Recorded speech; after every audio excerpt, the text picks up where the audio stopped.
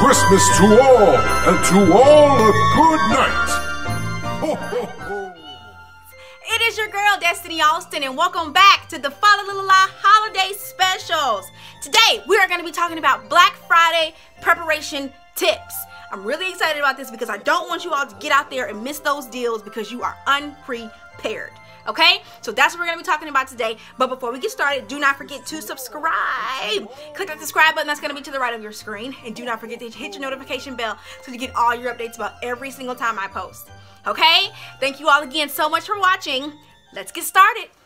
One, read and compare Black Friday ads. People, I cannot tell you how important this is. If you get asked ads in the mail, this is really when Black Friday starts. Is when you start getting your ads in the mail because that means that the stores have got their stuff already marked down. They already know what's going to be your prices and you can start comparing prices to Macy's, to J.C. Penney's and Lowe's, to Home Depot and wherever you're going, start looking at the ads.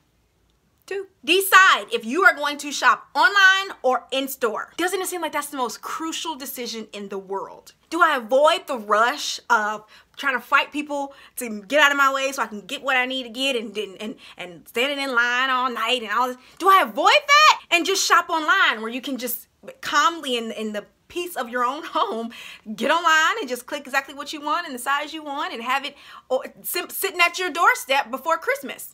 And still get the same deals. Or enjoy going out to the malls and and and the stores and fighting people and and yeah sometimes i just feel like that's what christmas is about you don't get the same thrill from ordering online. I know some people do. I'm saying for me, I actually like on Thanksgiving night, like when the stores open up at like midnight, just going. And not that I'm gonna buy anything. If I see something great, then great. But um, I don't go with the intentions to buy that night. I actually go on Black Friday. But um, it's just fun just to see all they have all the decorations and just all the stuff.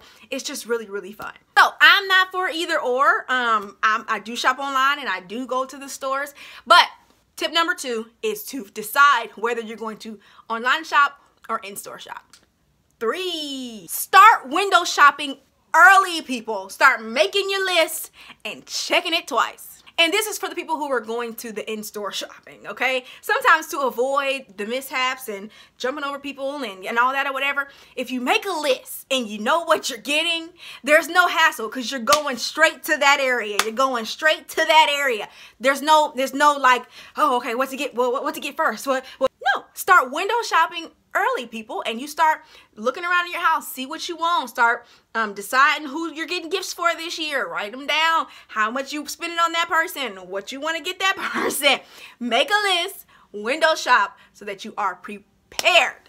for have an in-store game plan when you shop on Black Friday, and I know all y'all know this, a lot of times you get in there and you get all discombobulated with just what's going on and all the all the deals and just everything and and no. First of all, let's just go back to the, the beginning. Please, people, be on time. If you're going out there to get those doorbusters, then you need to be busting that door. Do not show up an hour after the store opens and then now you're mad because the TVs are gone. The TVs that were $100 are gone. No, get there on time, people. As hard as it is, put the Thanksgiving plate down and get to that store. Secondly, have your list, have your money, just have everything in place. Know what you are getting so that you can go directly to where you need to go, get what you need to get, get out. When you have a game plan, you just avoid the chaos. It's just it's just chaotic those nights are and have a game plan, you avoid the chaos. Five. Price match. Majority of a lot of stores nowadays price match online items. If you find it cheaper somewhere to get your purchase, they will price match it to whatever price you find online. I don't know if you are were aware of that, but I am the queen of price matching. Whatever you want, you can find it cheaper somewhere. And the store will price match that item for the exact price that it is online or at another store. Something can be $59.99 at their store, and if it's $39.99 at another store, boom, you just saved 20 bucks. Yes, price match. Six, avoid impulse buying. And this is the reason why I say to have a list and check it twice. Because sometimes when you get in these stores, like I say, you, you get excited when you see all these deals and there's people everywhere and you got money and you're just ready to spend. And you walk out the store and you get in your car with all these bags and you're so excited and you get home and you open everything up and realize you didn't get nothing that you needed. Or everything that you got is in the wrong size. Or that you realize that you overspent and now you done dibble dabbled over into your bill money and now you are messed up. Don't do that, people. Please calm down. The sales are there. You're gonna get what you need, okay? And if you can, you can always order online, people. Calm down. Impulse buying is the enemy to Christmas shopping, and it's it is the reason why there are so many returns after Christmas. Stick with your list. That's why I say window shop early. Have your list, have your game plan, have your list when you go into the store so that you know what you're getting, so that you can spend effectively, people. The, the key is to spend effectively, not just just randomly. Seven, beware of final sale items. This one kind of ties in with the impulse buying. And the reason why I say beware of final sale items is final sale means there are no returning. There's no returning for your money back. And if you out here just impulse buying, just swiping that card, just throwing that cash out just because you got it, you're gonna buy something that you can't get your money back for and you gotta just stick with it and live with something that you just wasted your money on. Also, beware of final sale items because a lot of times during this season they mark down um, stuff and if it's final sale, it's usually because it's damn it might be damaged it might be messed up there's something wrong with it and just check into it. I didn't say don't buy final sale items just be aware of them and just make sure that you are aware to check in on why this is a final sale item. And last but certainly not least number eight be a polite customer. And I take this one very, very seriously because I used to work retail. And I know retail workers always have a bad reputation of having an attitude during the holiday season. I get it. But I'm gonna stand in the gap for them, okay? And I'm gonna let you know why.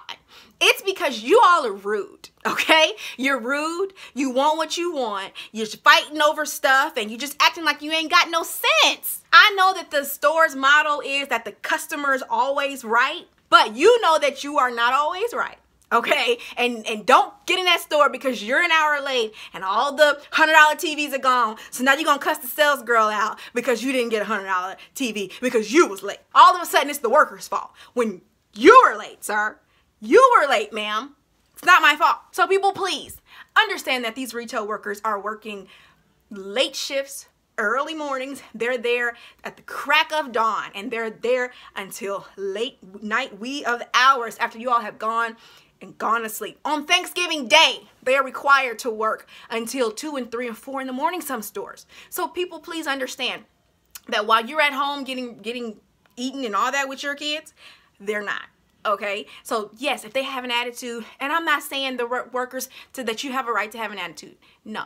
And you know that you're not right to have an attitude for no reason with customers who aren't doing anything to you.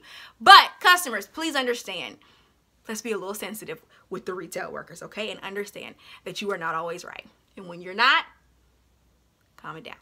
All right, mommies. That is all I've got for you today. I really hope you enjoy these Black Friday prep tips, and I hope that you have a successful Black Friday shopping okay? I know I'm gonna have one, and I'm also gonna be vlogging my Black Friday shopping, okay? So tune in next week for my Thanksgiving Day and the Black Friday shopping, okay? Thank you again all so much for watching, and please leave me comments down in the comment section below. Let me know what you think. Leave them down there in the comment section below, and I promise you I'm gonna read every single last one of them, and if I can, I am going to respond to every single last one of you, okay? Thank you all again so much for watching. This is the La La Holiday Specials, and before we go, do not forget to subscribe, people.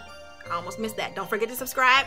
Click, click that subscribe button that's going to be to the right of your screen. And don't forget to hit your notification bell so you get all your updates about every time I post.